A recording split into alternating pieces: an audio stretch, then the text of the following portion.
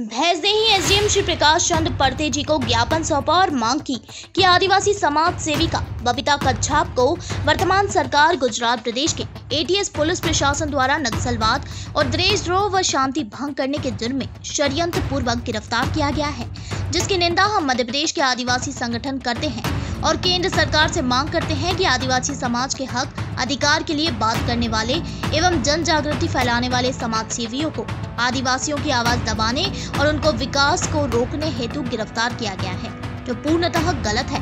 Doctor बाबा साहब अंबेडकर के भारतीय संविधान में दिए हुए अधिकारों के तहत भारत देश के मूल निवासी वर्ग के जल जंगल, ज़मीन एवं संवैधानिक हित अधिकार की रक्षा के लिए काम करना कैसे गलत हुआ? भारतीय जनता पार्टी की सरकार लगातार आदिवासियों की ताकत को कम कर रही है। उनकी आवाज़ को दबाने की कोशिश कर रही है। संविधान को बदलने और लोकतंत्र की हत्या कर रहे हैं। हम उसकी निंदा करते हैं और मांग करते हैं कि बहन बबीता कच्चप पर लगे कानूनी धाराओं को तत्काल प्रभाव से हटाकर रिहा किया जाए। आदिवासी समाज, संविधान और लोकतंत्र की हत्या बर्दाश्त नहीं करेगा। देश का मूल निवासी, वो अपने समाज के लिए, जो आज भी समाज के मुख्य धारा से बहुत पीछे है, जल, जंगल और ज़मीन और अपने हक और शिक्षा की लड़ाई को लेकर के लगातार संघर्षरत है। ऐसे लोग जो समाज के बुद्धिजीवी हैं ऐसी हमारी बहन जो लगातार अलग अलग राज्यों में जाकर के समाज को जनजागरण करने का काम कर रही चाहे वो हमारे रिजर्वेशन को लेकर के हम बात करें, चाहे पांचवी अनुसूची को लेकर के बात करें,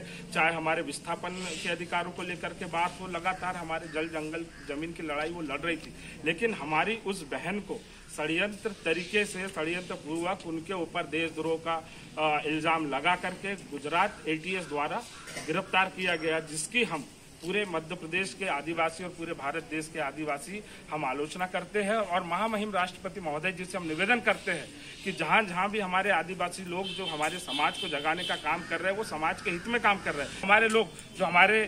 आदिवासी भोले वाले भाइयों को जो जन जागरण करने का काम कर रहे हैं और उनको षडयंत्र पूर्वक अगर गिरफ़्तार किया जाएगा तो हम किसी भी तरीके से बर्दाश्त नहीं करेंगे, क्योंकि डॉक्टर बाबा साहब अंबेडकर ने हमें अधिकार दिया है। प्रत्येक भारतवासी को ये अधिकार है और हम जनजाति वर्ग जो हमारे लिए अलग से कानूनों का प्रावधान है, ताकि आदिवासी वर्ग निश्चित रूप से इनको अलग अधिकार और कानून दे करके इनको कैसे समाज के मुख्य धारा से जोड़े, ये काम हो। तो हम यही मांग करने के लिए आए हैं कि हमारी बहन जो गिरफ़्तार हुई है, उनके ऊपर जितने धाराएँ लगाए गए हैं, वो धाराएँ हटाए जाए और उनको रिहा कराया जाए। बैतूल से मनीष राठौर की रिपोर्ट।